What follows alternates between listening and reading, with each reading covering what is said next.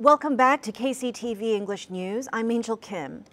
The National Assembly will conduct a parliamentary audit of Jeju Island and the Jeju Provincial Police Agency. As a precautionary measure for COVID 19, the National Assembly's Public Administration and Security Committee will conduct the parliamentary audit at the National Assembly rather than on site at Jeju Island. The audit date has been set for the 20th for Jeju Island and the 23rd for the Jeju Provincial Police Agency. The parliamentary audit is expected to cover the province's main agendas, including the revision of the April 3rd Special Act and the consolidation of municipal police forces.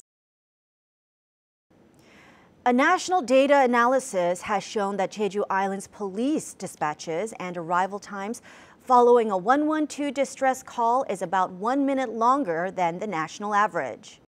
According to the data received by Representative Han Byung-do of the National Assembly's Public Administration and Security Committee, the average 112 dispatch time for 18 district police agencies across the country was 5 minutes and 5 seconds. Among them, the Jeju Police Agency averaged 6 minutes and 1 second, which is 1 minute and 40 seconds lower than the Seoul Metropolitan Police Agency, which has the fastest times in the country. Only three other district police agencies, Gangwon-do Province, Sejong City, and Chungcheongnam-do Province, showed a response period that was longer than six minutes. Jeju City will conduct a study of traffic volume on major roads on the 15th and 16th. 270 investigators will conduct the 24-hour study on 70 different routes, including Pyeonghwa-ro and Yeonbuk-ro, starting at 7 p.m. on the 15th. The results from the study will be used in future road maintenance plans. Meanwhile, last year's study showed that the Pyeonghwa-ro section in front of the Jeju Tourism University had the highest amount of traffic at 54,000 vehicles per day.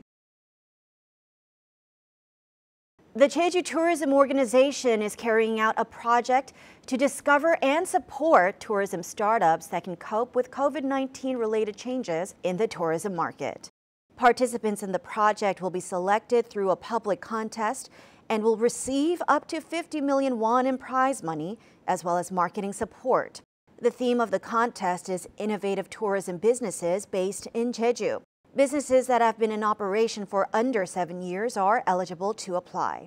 The application period is from the 12th to the 19th. Thank you for joining us today at KCTV English News. Please follow us on YouTube at KCTV E News Jeju and on KCTV's VOD service. Have a great evening.